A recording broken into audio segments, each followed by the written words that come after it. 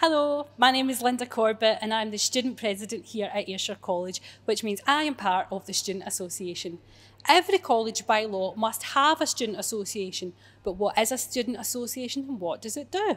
Well, the Ayrshire College Student Association can act as a channel of communication between students and the college, represent the interests of all students, and we can even help students source information and support that they may need in order to make their time at the college as enjoyable and successful as it can be.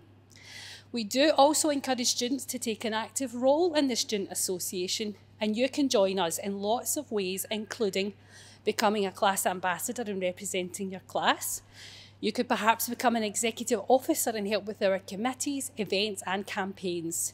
You could join or start your own club or society and we can help you with that. There are opportunities to help with fundraising and focus groups and if you really fancied it, you could even take part in the student president elections and perhaps become the student president yourself one day. But if none of that takes your fancy, that you can even simply be part of the Student Association by using your vote when it comes time to choose a new student president and vice president. So for myself and everyone at the Student Association, we wish you all the very best for your time at Ayrshire College and look forward to welcoming you in August.